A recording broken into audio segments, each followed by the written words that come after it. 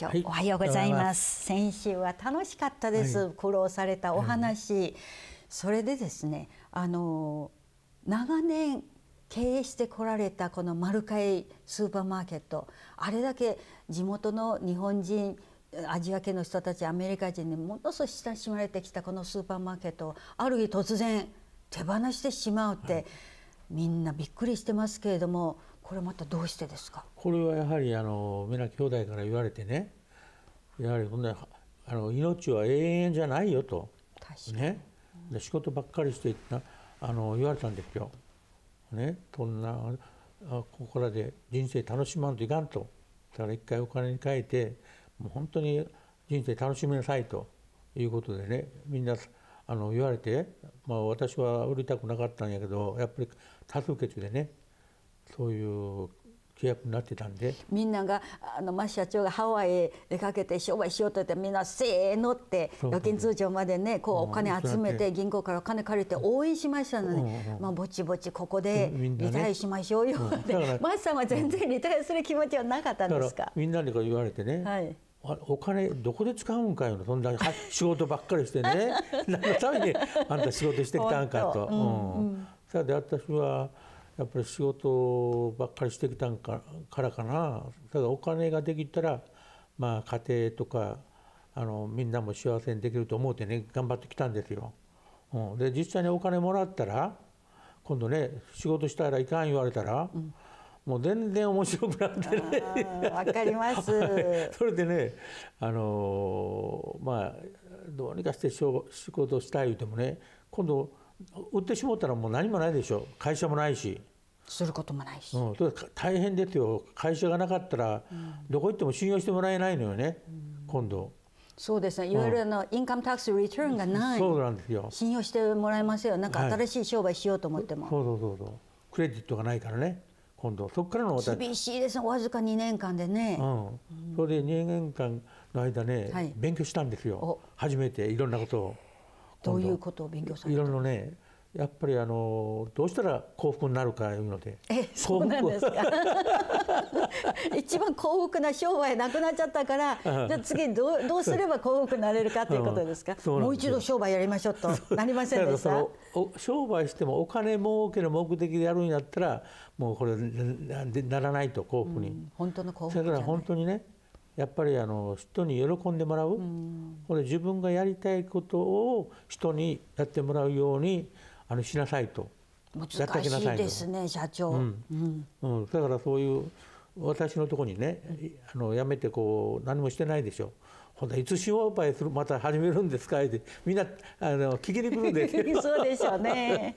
だから私はその時にも2年間考えてやはりお金ではあの自分の人生は幸福変えないと。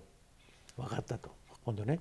そしたらやはりあの人を幸福に幸せになってもらって初めて喜んでもらって自分も幸せを感じるということは気づいたんですよ。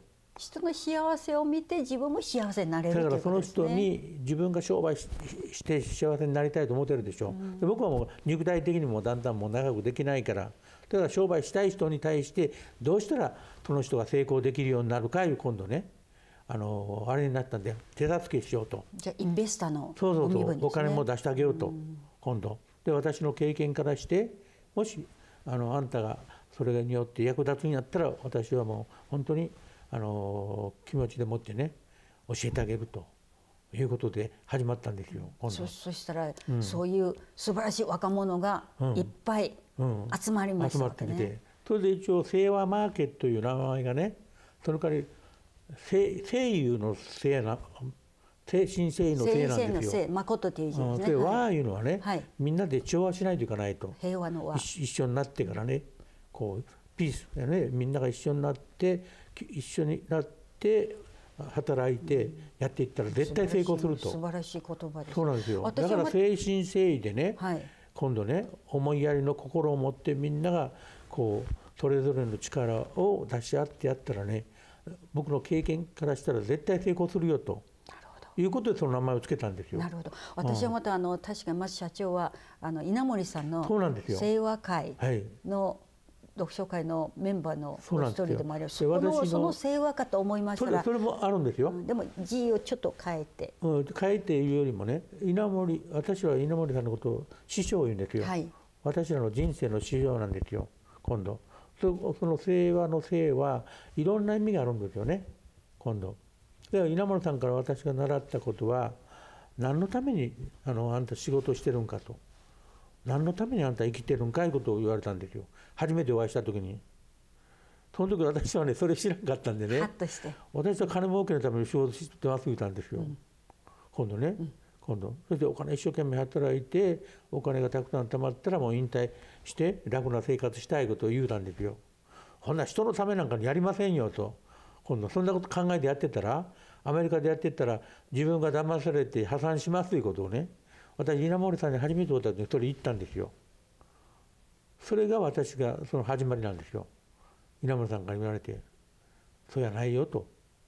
今度「あんた成功いうのは成功したと思ってるけど成功いうのは失敗の始まりや」と私はショック受けたんですよ。なんで成功が失敗か言うんですよ。いわゆる成功することによって自分が有頂天になって自分が偉いと思ったりなんかしてそこからまた失敗人生の失敗が始まっていくんやということをねあの教えてもらったんですよ。ほいでそれをまた一生懸命勉強したのあの稲村さんのその聖和塾で。で勉強したら今度あの稲村さんからねあのあそこ全国大会であるんですよ。清和会の全国大会。はい。でそこでね今度あの発表をした時に一番に表彰してもらってね。へ で教えてもらってね稲村さんを。あの稲森さんの言葉をそのままそうそうなんです実践し実行していらっしゃる門下のお一人っていそううなんですよ。そしてお前は弟弟みたいなあのも人やと言ってね、そうなんですか、まあ言ってくれてね。幸せですよねそうおっしゃられるとね、うん、そういうことでね。だから今度もやはりあのそこから稲丸さんから習ったことはね、あの利他の心を言うんですか？え？利他の心を言ってね。リターンね他人を利益を与えるってそうそうそう。ことですはい。自分がね本当に幸せになろうと思ったらやはり人に喜んでもらうことをせんかったら自分にそれが返ってこないよと、今度、うん、それをもうえあの教えてもらったんだけど稲村さんから。ずっと、そうですか、うん、そしてそれを私他のことにあんまりこう気を取られないので言われたことを真面目に勉強するんがね。私そういうあの性格なんですよ。じゃあこのに真面目すぎて。この2年間。うん、もう実行そのまま稲森先生のはい。お言葉通りに、そうです。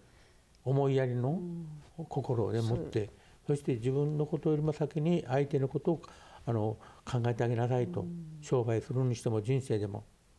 そして初めて自分の平和な人生が送れて自分が幸福になりますよと。で最初それ聞いた時にね私は一番最初に反対したんですよ。社長うん。コマーシャルの頭またお願いします。コマーシャルタイムです。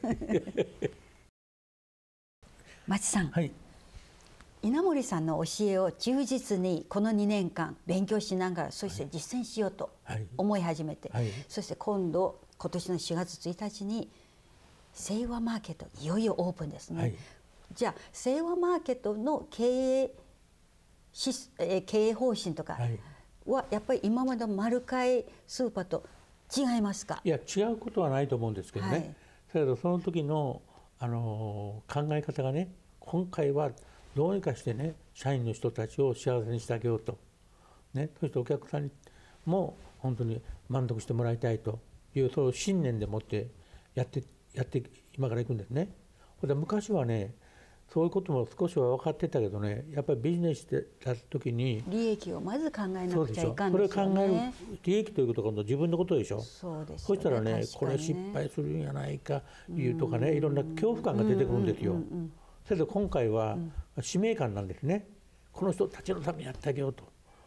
あお母さんが子供のために命も投げ捨てでもやろういうそういう感じやからそこにね迷いっていうか恐れがないんですよ今度。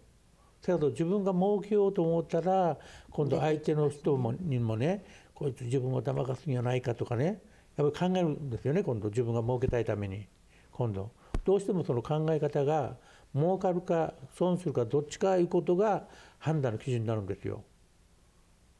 それが今度稲森さんから教えてもらって今度セアマーケットではねそういう儲けのとかそのが判断基準じゃないんですよ。これがやったことが人のためになるか、まあ、世ののためになるかとかねその善悪が基準になるんですよ。うん、絶対悪いことしたらいかないよと。うん、で悪いことそれから私もね本当にね今まで親父から言われたことを守ってきてねそういう税金をごまかした。それはないんですよ。だからそのガーディナーでやったでしょ。そしてちょうどあのあそこでどんどんこう人気が出てきた時にねガーディナーの市からねガーディナーの市の中であの一番税金を払う人10人だけ表彰してくれるんですよ。あのディナーに呼んでくれて、はい、呼ばれました。その中に入ったんですよ2回素晴らしい、うん、あの時はまだ大きな会社がなかったからね。うん、とやこんな日本だったらね税務署やったらもうまた払っとってもまたごまかしないかいうわけでしょ？さらにしてね。アメリカで知らないんですよ。